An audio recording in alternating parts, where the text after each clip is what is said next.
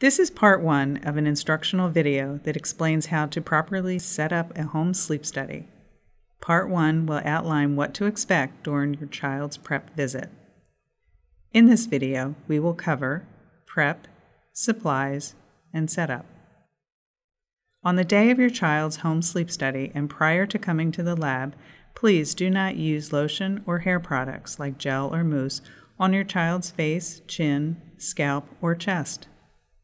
The following items will be placed on your child during the prep visit in the lab. Skin gel, 10 head electrodes, 3 chin electrode stickers and wires, 2 chest EKG stickers and wires, gauze, 2 elastic belts, black box. The study team will begin by seating your child in a chair and cleaning his or her skin. They will then apply 10 electrodes to your child's head and 5 on their face.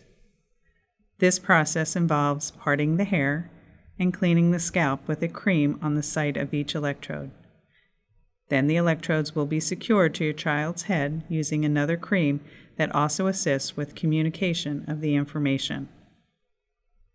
Once the electrodes are in place, they will be secured by wrapping your child's head in gauze, like a hat. This gauze hat should stay in place until the sleep study is over the next morning. The electrode wires will also be wrapped in gauze to keep them organized and out of the way.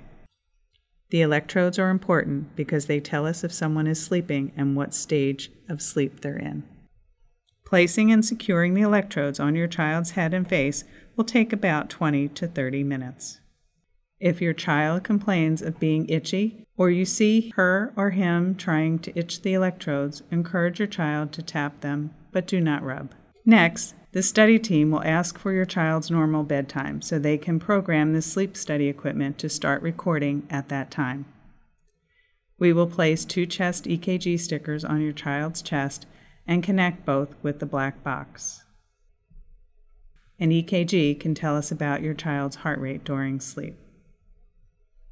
Then we will place the elastic belt around the chest and connect it to the black box. The second belt will go around the belly, making sure it is at belly button level. The belt should be snug against your child's body, but loose enough to be comfortable. You should be able to slip two fingers easily beneath the belts.